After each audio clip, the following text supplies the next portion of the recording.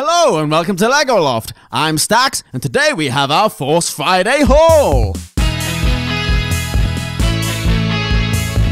We've been to guess where? The Lego store for Force Friday.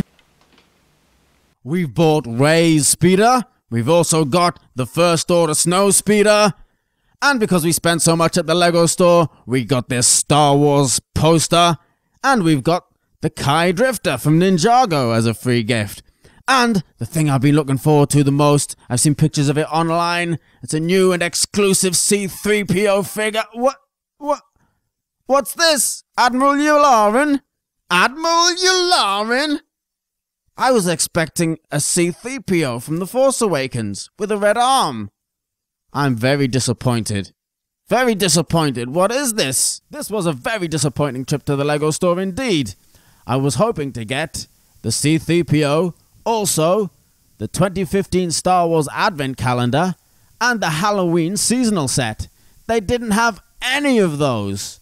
And in fact, the C3PO is not available in the UK.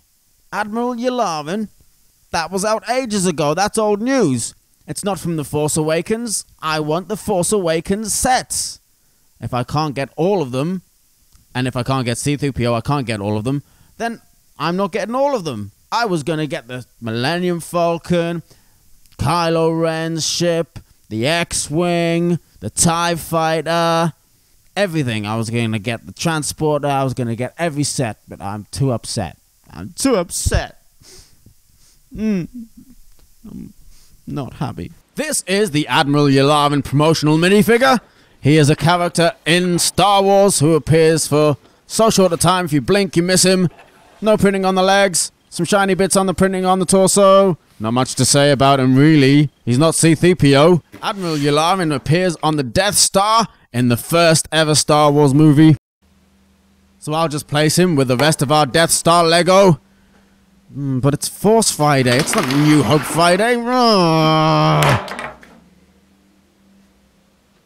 Let me know in the comment section if you've bought any of the Force Friday Lego. And were you lucky enough to get the C3PO?